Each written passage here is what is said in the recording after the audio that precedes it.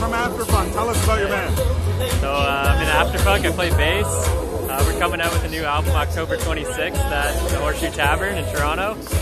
Uh, we formed seven years ago in London, Ontario at Western University. And uh, yeah, if you like funk, check us out. We're on Spotify. We're on all sorts of things like that. Square, where we Were you music showcase some of Canada's best Uh, up and coming us were, musical yeah. artists, Oh, yeah. and we show you some so of the best does- graphic artists directly from? Montreal. Uh, we have pretty good. I think, uh, we helped it along a little bit, making so an that's incredible good. work of art right here on this So, Chevrolet you do a lot of- Come a little a lot of closer and check it out. Don't be shy.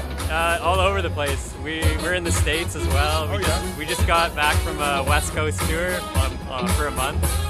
So we went to California. You know, Oh, we could go to Florida and do all sorts of stuff right on, the, on. the East Coast. But you're based here, like Toronto and London? or- Yeah, we're based in Toronto. Okay. And uh, where's been your favorite place to play? Well, we were in Banff recently, and we had two days off, so that was pretty fun. That's cool. It's a beautiful place. And uh, any wild stories on the road? Climbed a mountain. Took me seven hours. It was a good time. Well, I'd never been there before. Kiss Cam, you did it! So what about recording? How many uh, records do you have now? Uh, we have two out, and we're coming out with one in October. So. And uh, tell us about the recording set. Uh, with this album, it's a little more uh, refined, more mainstream. We're trying to, you know, reach the masses while trying to keep our own funky sound and keep it unique, you know. So, well, we're here at Yonge Yonge and Dundas Square. We're gonna go on at 9:30. It's gonna be a good time. Yeah. Indie Fridays, yeah. So And, this is uh, a pretty big gig for us, I think. Have you Yeah, played with Casey before? yeah, a bunch of times. We're we're all good friends with those Oh, guys. that's great.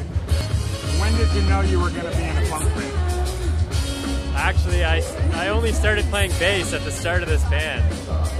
So basically, I, I got into school for drums, and my roommate, which is our drummer, just randomly paired up.